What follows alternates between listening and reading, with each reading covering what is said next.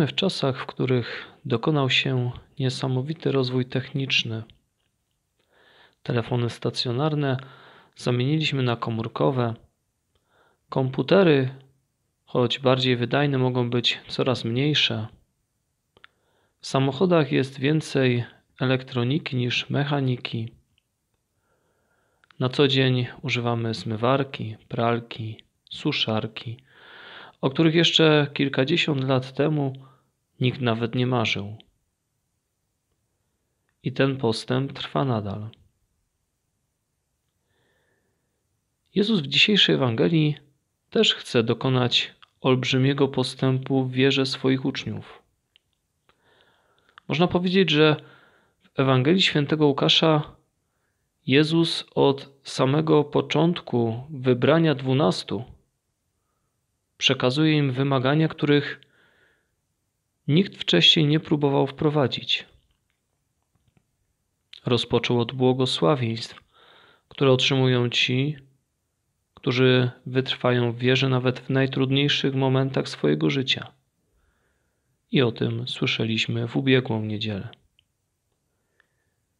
A dziś dokonuje się rewolucja miłości. Słowa mistrza wymagają od każdego słuchacza zaufania i wejścia na wyższy poziom życia ludzkiego, życia wiary. Uczniowie Jezusa wyrośli w tradycji prawa odwetu. Oko za oko, ząb za ząb. Mistrz chce ich przenieść aż o dwa poziomy w górę.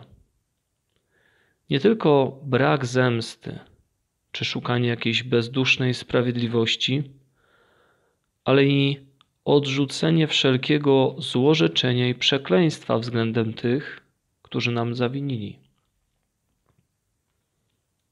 Spróbujmy posłuchać słów Jezusa, patrząc na Jego krzyż. Miłujcie waszych nieprzyjaciół. Dobrze czyńcie tym, którzy was nienawidzą. Błogosławcie tym, którzy was przeklinają i módlcie się za tych, którzy was oczerniają. Od razu trzeba zaznaczyć, że jest to zadanie szalenie trudne, bo trochę niezgodne z naszą ludzką naturą. Możemy zapytać o motywację. Dlaczego tak mamy czynić? Bo Chrystus to właśnie pokazał swoim życiem, szczególnie umierając na krzyżu. Jego słowa: Ojcze, przebacz im, bo nie wiedzą, co czynią streszczają całą tą zasadę życia.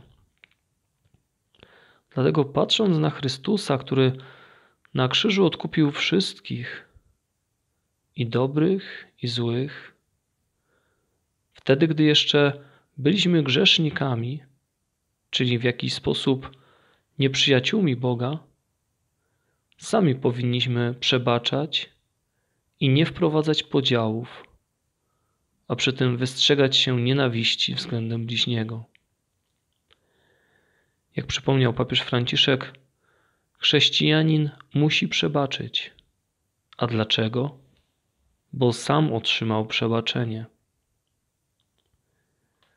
Nienawiść, przekleństwo, złorzeczenie jest całkowicie sprzeczne z przykazaniem miłości, które przecież jest nadrzędną zasadą postępowania każdego z uczniów Chrystusa. Może czasami ktoś powiedzieć, że takie działanie jest niewychowawcze, że najpierw powinna być wola zmiany, a dopiero później pomoc i wybaczenie. Ale takim myśleniem zamykamy przestrzeń działania Boga. Popatrzmy zatem na naszą miłość. Czy nie ogranicza się ona do osób, które nas miłują? Popatrzmy na czyny. Czy są dobre tylko dla tych, od których oczekujemy rewanżu?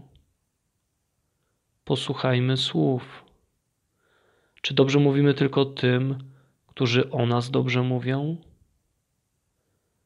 Popatrzmy na modlitwę. Czy modlimy się tylko za osoby, które są do nas przyjaźnie nastawione? Jeśli tak, to nadal nie wyszliśmy na wyższy poziom rewolucji miłości, o której dziś przypomina Jezus. Miłość jest wszystkim, a wszystko bez miłości nie ma żadnej wartości.